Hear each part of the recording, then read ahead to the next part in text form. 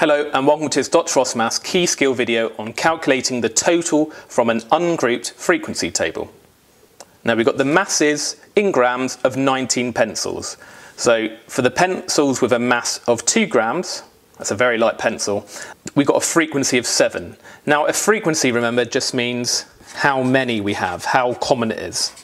So that's saying we have seven pencils with a mass of two grams. We have five pencils with a mass of three grams. We have two pencils with a mass of four grams. And we want to find the total mass of all the pencils. Now let's think here. We've got seven pencils with a mass of two grams. So if we were to write out the masses of all the pencils, we'd have a two gram pencil, another one, another one, another one, another one, another one, and another one we can see we've got one, two, three, four, five, six, seven pencils, each with a mass of two grams. So what's the total mass of those particular pencils with a mass of two grams?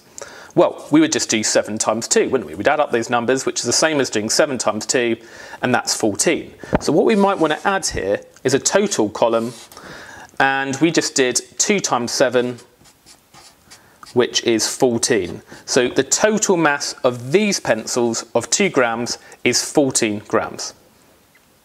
I'm not going to put the unit for the moment, but I will put that at the end with my final answer. What about here? We've got 5 pencils with a mass of 3 grams, so we just do 3 times 5 like we did above, and that's 15. And then do the same below, we do 4 times 2, 8, 5 times 5, that's 25. And now if we've got the total mass of these pencils, the total mass of these pencils, these pencils, these pencils, we just add them up to get the grand total weight of all the pencils. Now I'm just going to use my calculator to do that.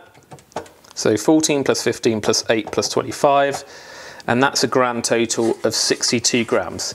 So therefore, the total mass of all the pencils is just 62 grams, and that's the final answer.